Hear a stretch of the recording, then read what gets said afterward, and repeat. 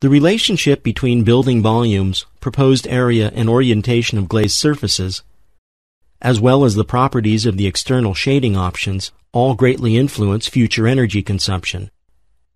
It also determines the overall look of the design. This is the new Microsoft headquarters office complex built in Graphisoft Park.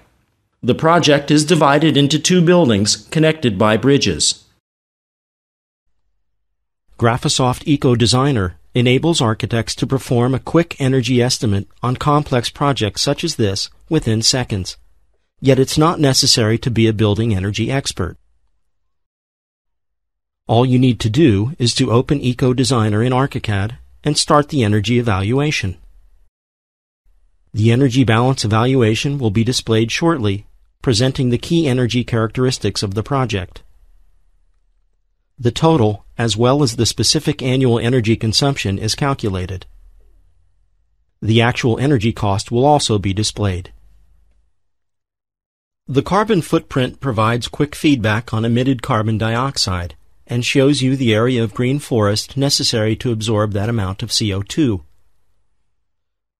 The monthly energy balance diagram provides important feedback about the emitted and supplied energy in a monthly distribution. Now architects can evaluate energy performance from within ArchiCAD.